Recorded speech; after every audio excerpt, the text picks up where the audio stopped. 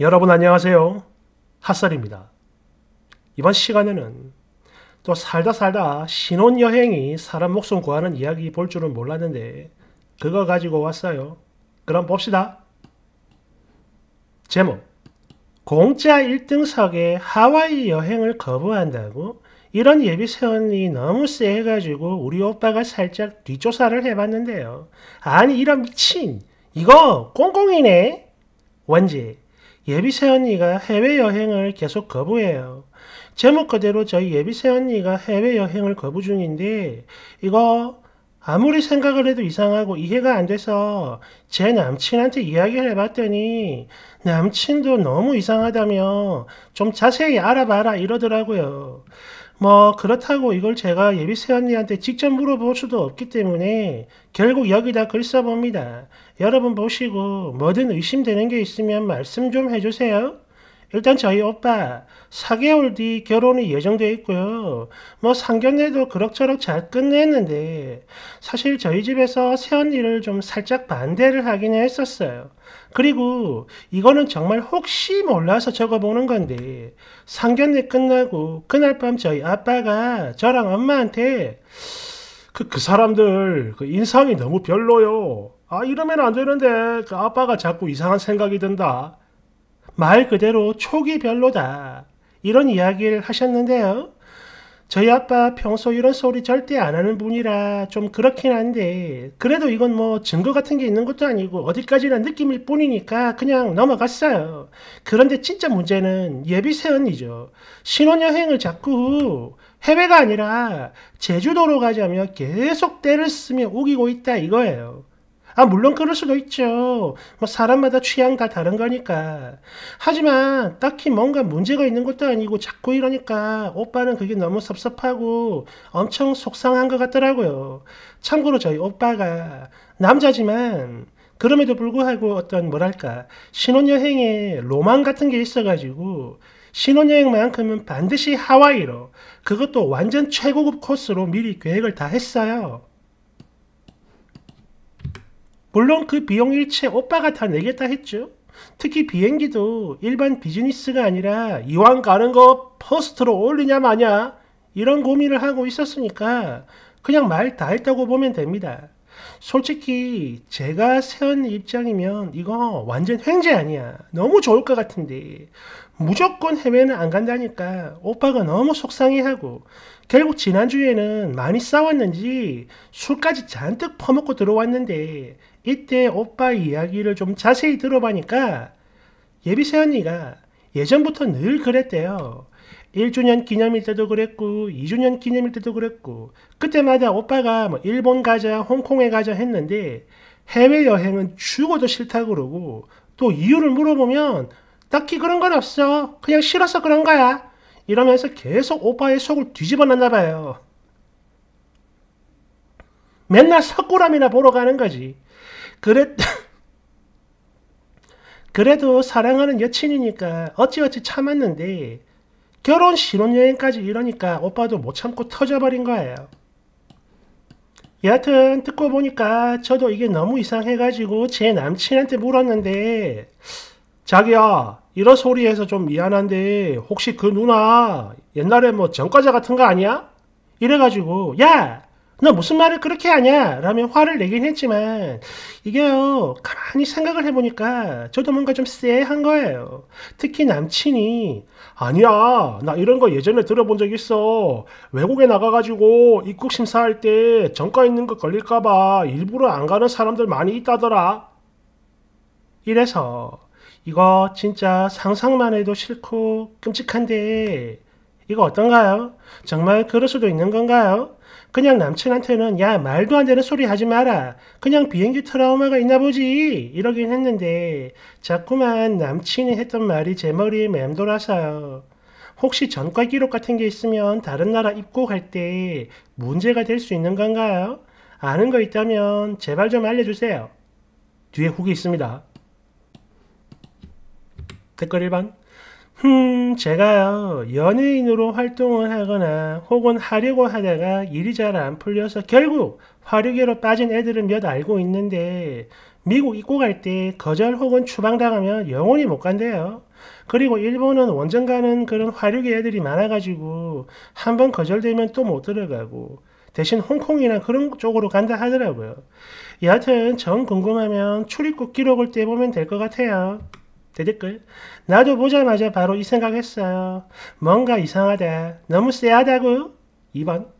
아마 비자 발급 거부 사유가 있는 나라가 있는 것 같아요. 일단 먼저 범죄 경력 조회부터 해봐야 될 것 같아. 달달달달달. 2번. 제주도는 간다는 거 보니까 비행기 관련 공포증이나 트라우마는 아닌 것 같은데요? 뭐 배 타고 가는 건 아닐 거 아니야.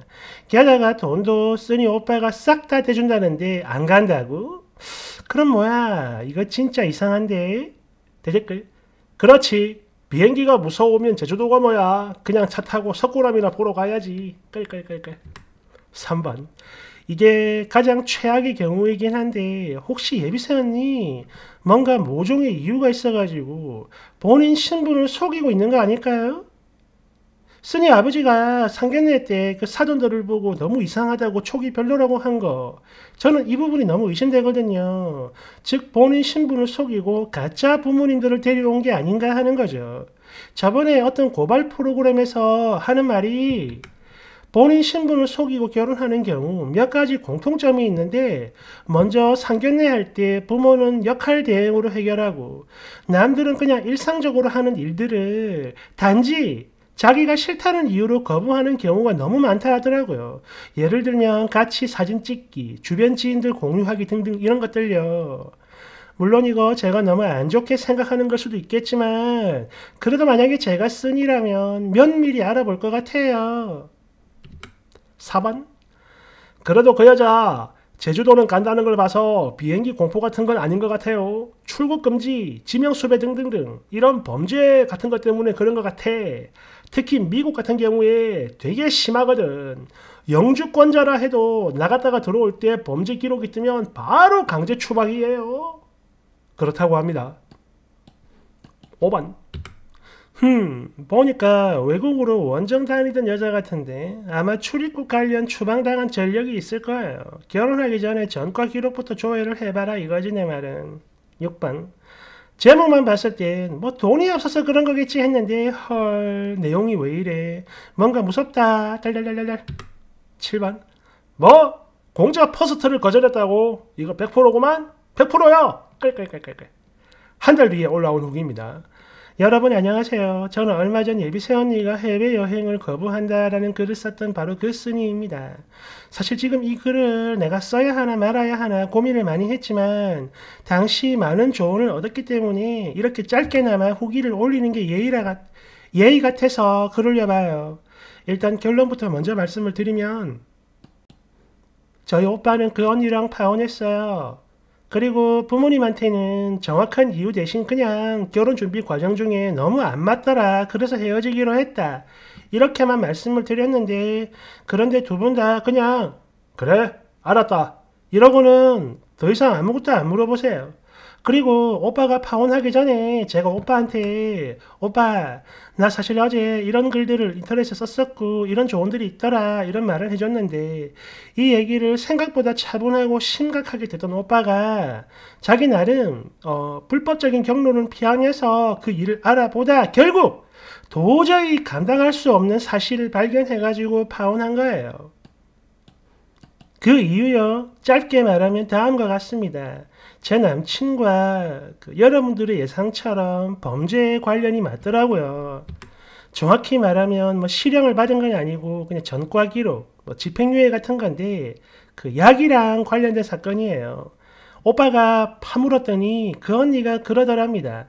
이미 10년도 더 지난 일이고 철없을 때 클럽에서 잠깐 만난 친구들이랑 그냥 실수를 했던 거야. 뭐 이런 식으로 변명을 했나 본데 뭐 던지기 선수였나 보죠. 아무리 그래도 오빠는 절대 받아들일 수 없었대요. 물론 이건 저도 마찬가지입니다. 여하튼 그 언니한테 전과 기록이 있는 걸 확인했고 물론 오빠가 저한테도 뭐 정확한 이야기를 다 해준 건 아니지만 어쨌든 유죄를 받은 거 맞고 집행유예도 받은 것 같아요. 그리고 해외여행을 꿋꿋 싫어한다고 한 거 이거 이건 저도 잘은 모르겠는데 해외를 다녀오는 과정 어딘가에서 본인의 그 전과 기록이 드러날까봐 그게 무서웠던 게 아닐까 싶어요. 여하튼 이렇게 궁금한 거 다 풀리고 결론적으로는 잘 됐으니까 마음만큼은 후련하고 다행이다 싶지만 그래도 오빠가 불쌍한 건 사실이에요. 그 긴 세월 어쩔 거야. 너무 안타깝습니다. 뭐 이렇게 됐고요. 다들 정말 감사드리고 안녕히들 계세요. 댓글 1번. 와, 지난번 댓글들 다 맞췄네. 맞췄어. 소름 돋아. 2번. 그래, 내가 이럴 줄 알았지.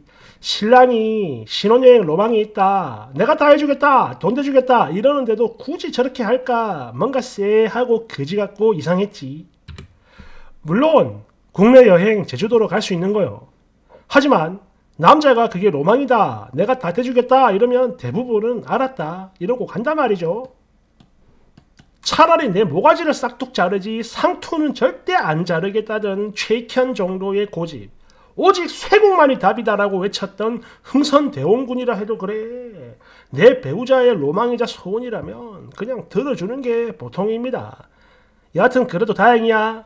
약쟁이는 약을 절대 못 끊는다고. 음. 그 신혼여행이 사람 목숨 하나 제대로 구했구만. 깔깔깔깔. 3번. 솔직히 아무리 전과 기록이 있어도 소액 벌금이랑 같이 자꾸 찌질한 거는 충분히 통과되거든. 근데 이렇게 사회 질서를 위협하는 중범죄라면 절대 안 되죠. 4번.